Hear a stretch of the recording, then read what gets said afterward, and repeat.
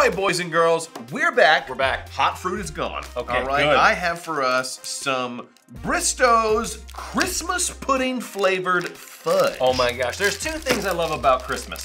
Jesus and fudge. Mm. Oh yeah, Those are the two things I cannot do without. Absolutely. And so I will be partaking of this fudge. Let's try this. Here we go. This sounds good. Uh. Oh. Oh, yeah! That's what we've been waiting for. Boys and girls, I wish that they had invented taste vision, taste division instead of television because I want all of you to taste this. Well, I'm sorry we can't do that. You know what we can do though? What we can do? We can answer Samantha's question. Great. Okay? Remember, Samantha wants to know Yeah. who created God. Okay, On your mark, I'm ready. get set, mm-hmm. go.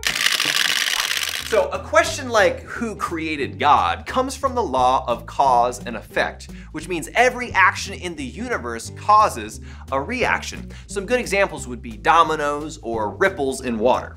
Mm. So, if we go by the laws of cause and effect, it means that if God created our universe, then something else must have created God. Totally. The only problem with cause and effect is that it only works in the natural world where God is supernatural. He exists outside the natural world. Picture, if you will, a fully built Lego set in your house. Hmm. You know, I do love a good Lego set. You are the cause of the Lego set. You have put every little brick in place. The Lego set is the effect. Every part of it has been placed by you. You are in control of the Lego set, but you exist outside of it, which means you are not bound by the Lego set. You can do whatever you want. Well, it's the same with God and the universe. He doesn't need to follow cause and effect because he invented cause and effect. Ah, so he's the original cause and the universe is the lasting effect. Very well put. Colossians 1:17 says it this way. He existed before anything else and he holds all creation together. So, who created God? Nobody and no thing. He has always been here. He has an eternal nature, which means he has no beginning and no end. And that by definition is what makes him God.